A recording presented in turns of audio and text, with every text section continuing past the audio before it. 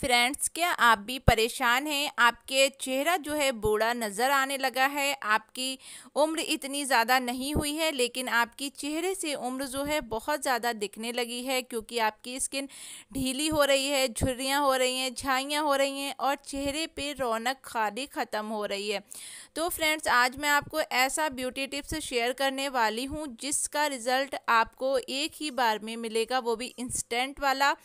तो फ्रेंड्स, मेरी आपसे यही कोशिश है कि आप अपने चेहरे को जो है मेकअप से ज़्यादा ना ढकें, क्योंकि मेकअप जो है हमारी स्किन के लिए काफ़ी ज़्यादा नुकसानदेह हो सकता है। ले, और मैं आज आपको बता रही हूँ ब्यूटी टिप्स तो आपको घरेलू नुस्खे आजमाने चाहिए अपने चेहरे की सुंदरता को बढ़ाने के लिए। तो हमने इसमें लेना है चीनी का बोरा आधे चम्मच के करीब। अगर आपके पास चीनी के दाने छोटे छोटे हैं तो आप वो भी ले सकते हैं। तो चीनी क्या करता है, हमारी स्किन से डेड स्किन सेल्स को और ढीली पड़ी त्वचा को टाइट करता है व स्मूथ बनाता है। इसमें हमें सेकंड लेना है हल्दी, यानी कि टर्मरिक पाउडर बिल्कुल वन पिंच वन पिंच आपको टर्मरिक पाउडर लेना है। ये हमारी स्किन से सारी प्रॉब्लम को ख़त्म करती है, चेहरे को निखारती है। चेहरे में रौनक आती है। इसके बाद में हमें जो अगला इंग्रेडिएंट्स जो लेना है फ्रेंड्स वो है एलोवेरा जेल आप मार्केट वाला एलोवेरा जेल ले सकते हैं। एक चम्मच के करीब एलोवेरा जेल लेना है और इसको थोड़ा सा स्मूथ बनाने के लिए, यानी कि लिक्विड सा, उसमें हमें कच्चे दूध का इस्तेमाल करना है। तो आधे चम्मच के करीब आप इसमें कच्चा दूध ऐड करें और इसको अच्छी तरह से मिलाकर एक ये हमारा रात को लगाने वाला जेल बनकर तैयार हो जाएगा, जो काफ़ी ज़्यादा बेनिफिशियल है।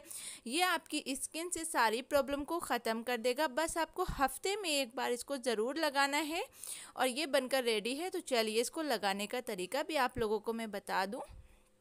तो गाइज़ आपको करना ये है कि अपने फेस को अच्छे से वॉश कर लीजिए। कोई मेकअप नहीं होना चाहिए, कुछ नहीं होना चाहिए। आपको अपने फेस पर इसका एक पैक्सा लगा लेना है। लगाने के बाद आपको पंद्रह मिनट अपने फेस पर रखना है इसको।